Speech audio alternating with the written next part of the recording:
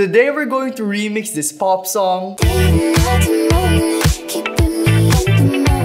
and turn it into this.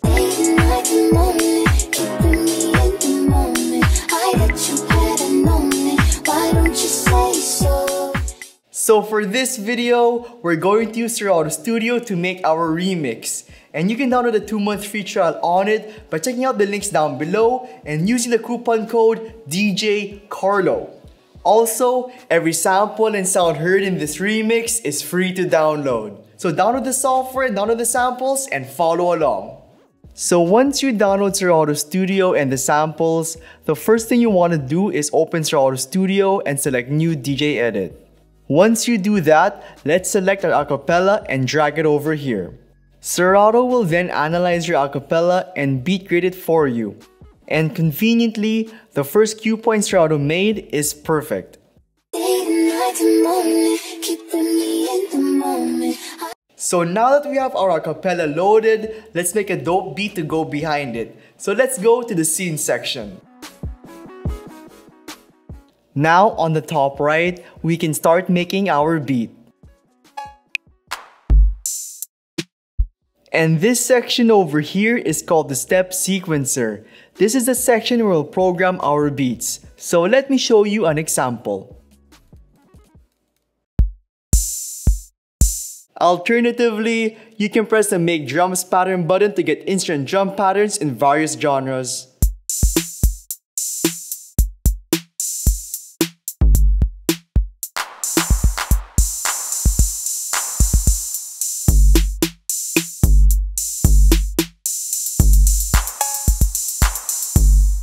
Now one of the cool things about Serato Studio is that they provide sound packs which help jumpstart your production journey with a bunch of samples and sounds to fit a mood, genre, or sound. So I've personally gone ahead and downloaded all these packs which I recommend you do when you download Serato Studio. But if you don't have the patience to download everything, please do at least download the genre starter packs. They're completely free and completely amazing. So let's select the house drum kit. So let's go to our library section and find a good one. So when making a remix, I usually start with a good drum kit. And since this song is a bit housey, let's follow that vibe. So let's use this house drum kit. To load it, let's drag it to the step sequencer section. Now our old drum kit has been replaced with a house sample pack. The next thing to do now is to program our drums. And since this is a house song, let's first start out with the kicks, then claps, then hi-hats, then some other stuff.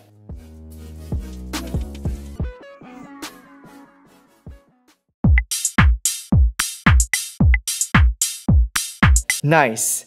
Now we have a decent beat. Let's extend this beat from 4 beats to 32 beats.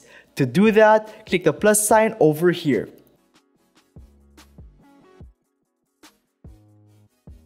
Let's now check how our acapella sounds at our beat. So let's go back to the song view section and let's press play.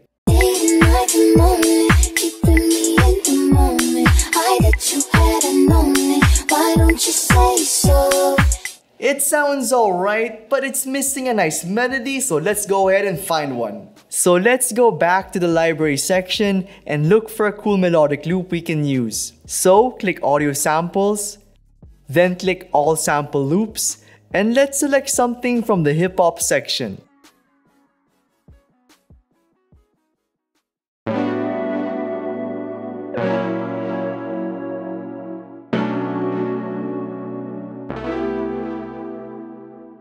So this soul synth sounds pretty good. So let's drag it to our drum kit section.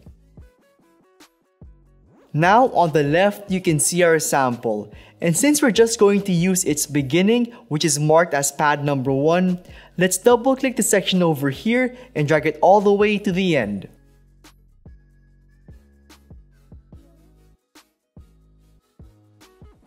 And now let's give our track a listen.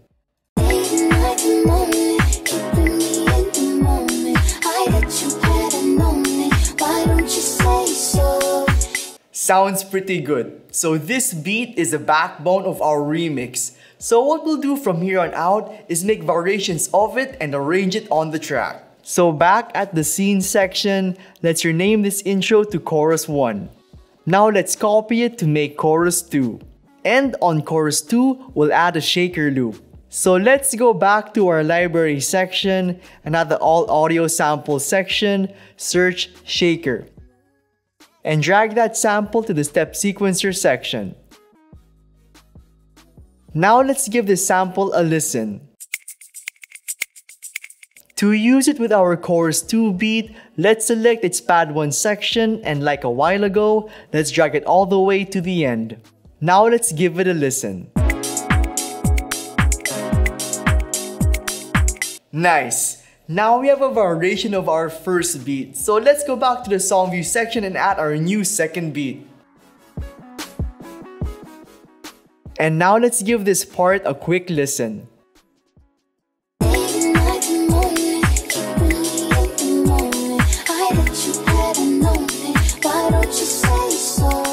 Our chorus section is complete, but our verse section though, which we just entered, is not. So now we have to make a verse section beat and like the chorus section, we'll make two variations of it. And don't worry, making a verse beat is actually pretty simple.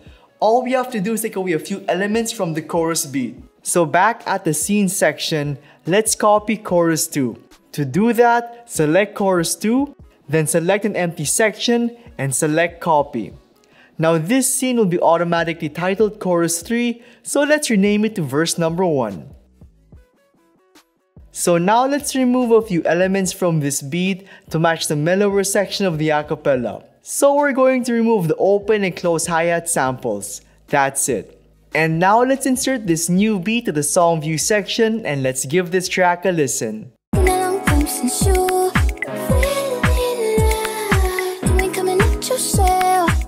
Sounds good. And now let's make a variation of this as verse 2. So let's do what we did a while ago, but this time, let's only remove the open hi-hats.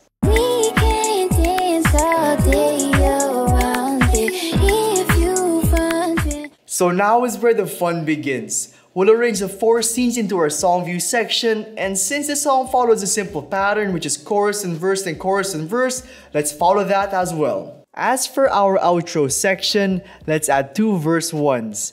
And let's drag the acapella's tail closer to the end of verse number 1. So this remix is almost done.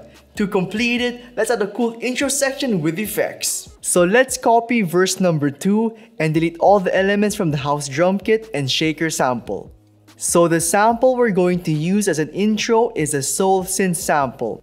But since we want to activate an isolated effect on it while it's playing during the intro section, we'll create another cue point or another pad. So the first thing we're going to do is clear the synth sample as well. Next, let's delete cue point 2 or pad 2 and place it at cue point 1 or pad 1 section. Now this pad will be the only pad we'll be affecting. So to activate an effect on it, let's view our effects section and let's make sure effects pad number 2 is shown. Now let's add an effect on it as well as a dry reverb effect.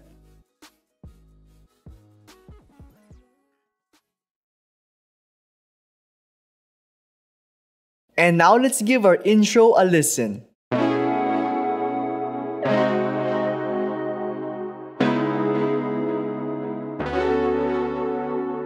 So with our intro done, let's add it to the song view section.